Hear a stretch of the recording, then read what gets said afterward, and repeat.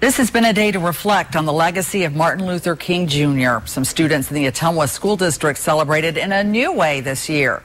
There is now a video. Liberty Elementary art teacher Sandy Wilson helped to come up with the idea. She says in the past she had kids make art to celebrate the day, but wanted to do something more this year.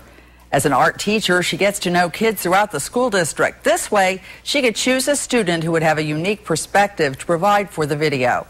An Ottumwa high school student made the video.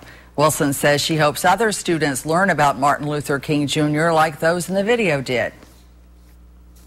I've played it in my classroom today, and they've been very attentive and excited about it. So, yeah, I think that there's quite an awareness of Martin Luther King Jr. today.